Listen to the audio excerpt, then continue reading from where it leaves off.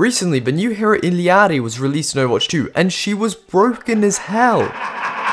She could outdraw DPS and even had an automatic healing turret to boot.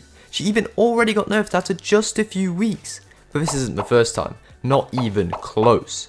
This found it impossible to balance their game. But it isn't just Overwatch. This is an issue which has plagued game devs for decades and isn't stopping anytime soon. So, before we dive deeper into this issue, we need to understand the basics. Games with many different characters or weapons for the player to use, but when which these relate to each other is very important. In other words, you don't usually want one character or weapon to be vastly better than another, especially in a PvP game like Overwatch. Deciding on the specific stats and functions of these heroes and weapons, and how they compare to the others in that game is what's considered balancing. Generally, if a game is well balanced, it means that everything in the game is of a similar power level, so having possibly vastly different abilities or functions. Already you may be able to understand how that can be difficult, but in reality it's even more complicated than that, as good balancing can also be achieved in other ways depending on the type of game, as I'll discuss later. But in order to truly understand the issue of balancing, we need to go all the way back to when PvP games first began. In 1958, the physicist William Higginbotham created the first ever multiplayer video game, Tennis for Two. However, at this point in time, not only was balancing irrelevant due to the sheer difficulty of creating games, meaning with people only focus on actually being able to create them in the first place, such simple games also didn't even require any sort of balancing. In Tennis for 2, the game was exactly the same for both players, and so there was no need to balance it anyways. Well then, why did I bring this up? To show that balancing is an issue we imposed upon ourselves through our will for more complex games. Of course a game like Overwatch with 37 different characters will struggle with making them even in power, when both players can only do the exact same things as each other, balancing isn't even a thing one needs to consider. So, what kind of problems have we created? Pretty much every single online combat based game nowadays faces difficulties in balancing, Overwatch is a great example of this, with Illari being overpowered, whereas the previous hero Lifeweaver was significantly weaker than expected. Let's not forget about that year-long meta created by a single character. However, other games also have plenty to show. Apex Legends, for example, has Seer and Crypto, two legends with similar roles yet vastly different power levels. Balancing extends past just characters into weapons as well. In that very same game, the developers are in a constant battle, trying to reduce the power of an SMG here or buff a shotgun there. In the end, they can never quite get it right, as metas revolving around a few weapons and characters always develop, leaving others to fall to the wayside. It seems near impossible for the devs of any such game to truly achieve perfect balance. So, what could possibly make this such a difficult issue to combat?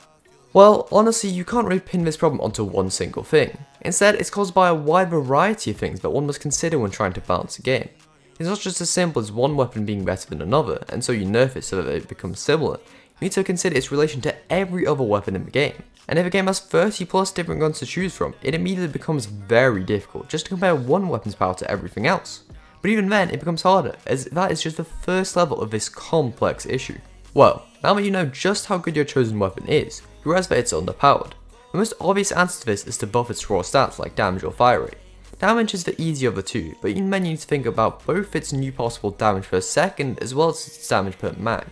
Increasing the fire rate of a gun is even more difficult, as it can change the feel of a gun entirely. It may increase the damage output, but it means you run out of ammo faster and the recoil's increased, making it more difficult to use.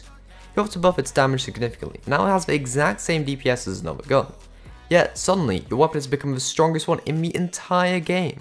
What happened? Shooting games like these tend to have several different weapon classes, with different guns having different functions outside of just their pure damage output. You realize that you took an LMG with a 50 round mag and gave it the same DPS as an SMG with a mere 17 bullets. That obviously doesn't work. SMGs use their higher damage to try and burst out enemies quickly before having to reload, whereas LMGs have a lot of bullets for sustained fire. Okay, enough of this analogy. What I'm trying to say is that different heroes or weapons can have different mechanics, making them even more difficult to keep in line.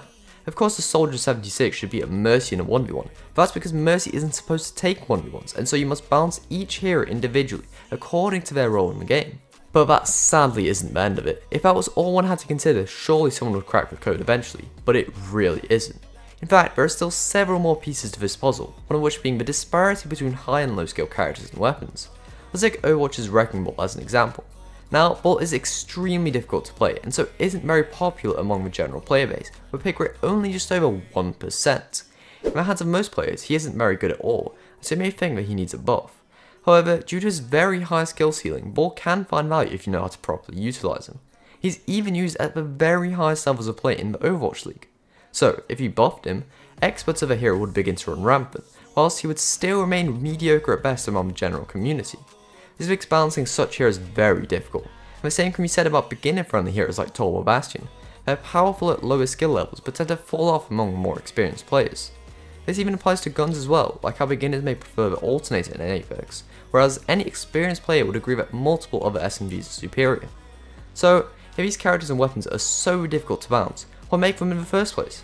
Well, I believe there to be three main reasons. Firstly, it's very hard to make heroes who are of the exact same difficulty to play. 2. If you did do that, there's a high risk that they become very similar, which can make the game boring. And finally, the game kind of needs that difference in hero difficulty.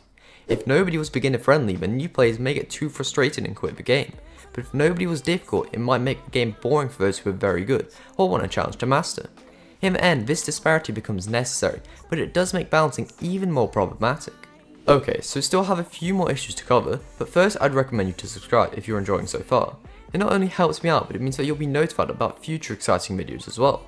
Now, I could continue to properly explain several more issues when it comes to balancing, but I think you get the point, so I'll summarise the rest. Or map dependent heroes with very specific purposes need to be balanced differently from more versatile ones. Weapons or heroes that are annoying by design can't be meta or else nobody will enjoy the game, except for a few select players. There's a large difference between the casual and competitive sides to a game, and so it can be difficult to balance it so that both sides are happy. And in a game like Apex, things as small as guns, iron sights, or equipable attachments even contribute to its power. All of these things go into this huge balancing conundrum, but what if you do actually manage to get things right? What if you somehow manage to perfectly balance your game? Mission accomplished, right? Wrong, it doesn't end there. Live service games like Overwatch rely on a steady supply of new content to keep people engaged, and balance changes are a part of that. Even though people are afraid of change, it's necessary as otherwise they get bored and the game becomes stale. Even if you stop making balance changes and instead rely on releasing new heroes or game modes as your source of content, this then inadvertently affects the game's balance. When a new hero is released, you don't only need to try and perfectly balance them, but you'll also likely affect the power of other heroes who they counter or synergize well with. In reality, game balance is simply a never-ending cycle, making changes to the game to try and keep the playbase happy, or at least engaged, but never truly succeeding as you can't please everyone. And all of this only applies to some games. Different types of games will need to consider balancing differently depending on the type of game and what the devs want to achieve. An RPG, for example, has to balance gear and characters based on where you are at in the game and has to control the rate of progression. So, now you know all of these complex issues that you have to consider when balancing a game, there's still one thing that I haven't yet discussed. Balancing for sales. This is when the devs in a game specifically make something more powerful so that they can sell it or cosmetics for it. This has happened before in a game like Apex, where characters are often buffed right before receiving their heirloom, thereby encouraging more people to play them and thereby increasing sales. Is often looked down upon by people, and rightfully so, as a new cosmetic shouldn't be disrupting a game's balance. However, it isn't always terrible, as sometimes it is simply encouragement for the developers to buff a currently weak character, which is often a good thing. As time has passed, companies have strived to make more exciting complex games for us to play. This, however, continues to make balancing such games even more difficult, so I doubt we will get a perfect game which stays that way anytime soon. In reality, you can never please everyone, and that is just another part of the problem. Hopefully, people can begin to accept the hard work of game devs and possibly suggest helpful improvements without toxicity, so that we can start solving this problem step by step. Because in reality, the biggest issue when it comes to balancing isn't the balance itself, but the constant backlash from fans no matter what the devs do.